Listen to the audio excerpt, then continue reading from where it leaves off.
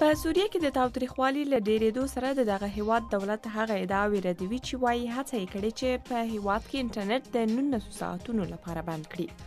د دوشنبې په شپه د ګوګل ګڼه ګوڼه هم خورا ډېره لږه شوې وه خو دولت وایي ستونزه د یوه فایبر کیبل د خرابوالي له امله وه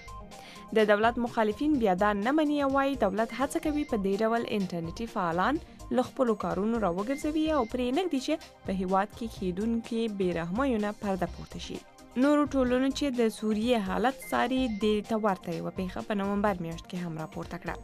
هغه وخت مخالفینو په هیواد کې دننه حالت پر انټرنیټ د یوټیوب او سکایپ له لارې نورې نړۍ ته وایه اډوب هڅه کوي خپل دغه سافټویر یوازې انټرنیټي بڼې ته واړوي چې د میاشتانه پیسو په بدل کې به یې خلک کولای شي واخلي او خپلو کمپیوټرونو ته به یې ښکته کوي دغه نوې پرمختیا په دې برخه کې یو خورا لوی بدلون ښیي په دې سره به کاروونکي وکولای شي له بېلابېلو کمپیوټرونو ځینې اپلیکیشنونه لکه فوټوشاپ ډاونلوډ کړي دوی به ټولو نویو بڼو ته سمدستي هغه وخت لاسرسی ولري چې کله بازار ته راشي د دې پر ځای چې رسمي نیټې ته انتظار وباسي مایکروسافت اعلان کړ چې خپل د وینډوز 8 تولید نوې بڼه روانه میاشت بازار ته راوباسي دغه نوې بڼه چې وینډوز 8.1 به وي د کوډ نوم یې بلو ښودل شوی دی او تر ډیره یې تغییرات په عملی سیستم کې دي له ځینو وړو بدلونونو نه یې یوه هم دا ښودل شوې چې اوسنۍ بڼه تر ډیره مشتریانو نه ده خوښه کړې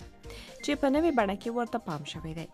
خو دا نوې بڼه کولای شي یوازې د وینډوز په دکانونو کې واخلئ په هغه پخواني ډول اوس نه خرڅیږي او بل اخره د ایکس باکس نوې بڼه ځینې داسې برخې لري چې انټرنیټ ته به اړتیا ونه لري د دغه تولید لپاره یو ویام دا تایید کړ چې ځینې ډېرې برخې لکه په ژوندۍ بڼه د تلویزیون لیدل به آفلاین هم موجود وي په دې اړه په بشپړ معلومات د دې میاشتې په وروستیو کې په ډاګه شي